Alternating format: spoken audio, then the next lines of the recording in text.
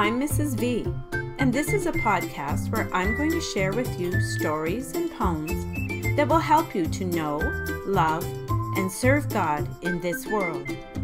Then one day we shall all meet with Jesus, Our Lady, and all the saints to live forever in heaven. So I'd like to welcome you to Cheerful Chats for Catholic Children.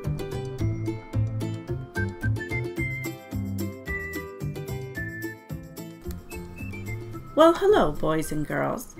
I'm going to read to you today some poems from my Catholic Mother Goose, Volume 1. We will also talk a little bit about each poem. If you have the book, you can read along with me. If not, just look at the pictures here.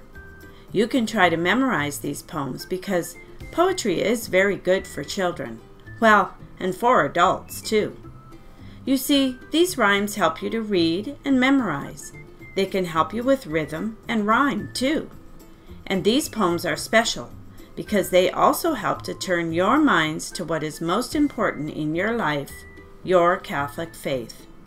So come along with me as we read from Catholic Mother Goose. The first poem is Jack Be Nimble. Do you light the candles at your home when it is time to say the rosary? You might be too little, but maybe when you get older you can. We watch the altar boys light the candles each time Father says Mass, don't we? Candles are special, and they remind us that Jesus is the light of the world. Without him, our lives would be dark. The whole world would be dark, because no one would know the way to heaven.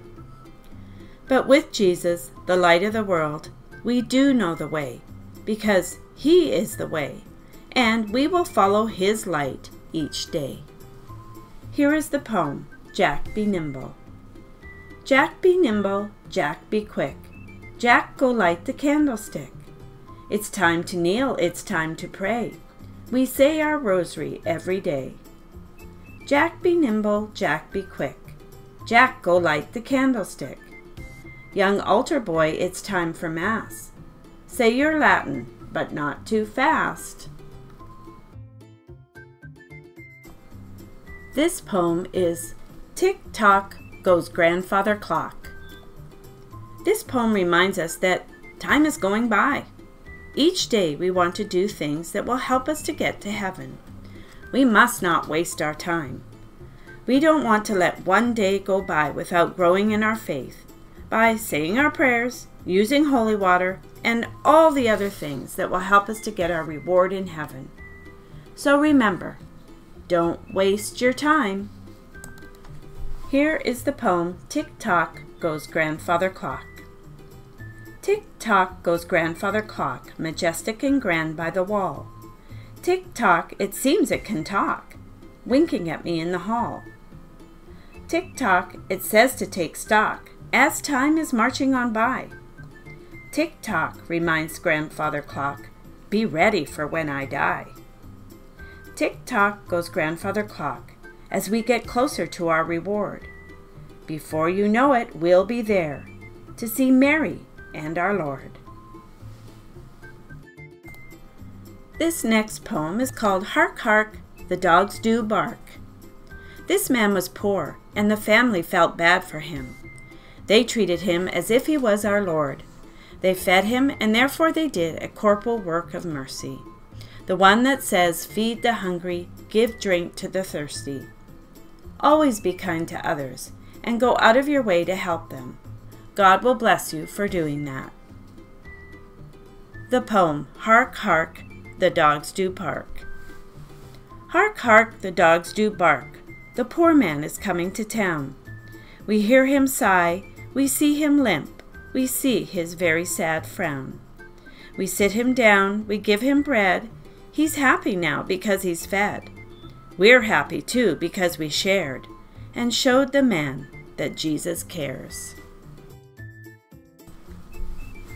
Simple Brother Joseph. This poem is about a simple man who became a monk. Joseph had a hard time learning. It was hard for him to remember things, and he was not very smart. This didn't matter because Joseph loved God very much. The abbot, who is the superior of the monastery, saw the goodness of Brother Joseph's heart and put him in charge of all the other monks. He had to give orders to them. The other monks didn't mind because Joseph was humble and had such a good heart. You see how God blessed Joseph, not because how smart he was, but because of his good and pure heart. We must try very hard to have a good and pure heart too, so we can please God in all that we do. Simple Brother Joseph Simple Joseph didn't know much, but he had lots of spunk. Cheerful Joseph loved God so much, he became a monk. In his habit came the abbot, Brother Joseph for to see. He was put in charge of the monks at large. Joseph did it willingly. The monks didn't grumble, for Joseph was humble. There never was a complaint. The place became known for its holiness alone and Brother Joseph became a saint. Susie and Sally. Susie and Sally were very excited because it was the big day of their first Holy Communion. They were all ready with their gowns and their veils. Sure, they were excited about their lovely clothes because they felt like little princesses. But they were much more excited because they were going to receive Jesus for the very first time. Sally and Susie. Sally and Susie are two little girls. The alarm clock rang, they were up in a whirl. Susie hugged Sally. She began to say, Oh, Sister Sally, today's the big day. We'll don our gown and put on our veil. Our Lord will receive at the communion rail. Little Jack Horner. Uh oh, Jack had been naughty and his mother sat him in the corner so he could think about his naughtiness for a bit and how it hurt Jesus. It didn't take Jack long to be sorry for his little sin and run to his mum. His mum told him to say an Ave, and you know what that is, right? It's a Hail Mary. So Jack knelt down and slowly repeated the Hail Mary and asked Our Lady to help him to always be good. Little Jack Horner. Little Jack Horner sat in the corner because he'd been naughty that day. He repented his sin, kissed his mum on the chin. For his penance, he said an Ave. Diddledy diddledy dappledy. Sue was a good girl and did her spiritual reading each day. She also made visits to the chapel when she could. She was a happy girl because she put God first in her life. Diddledy diddledy dappledy.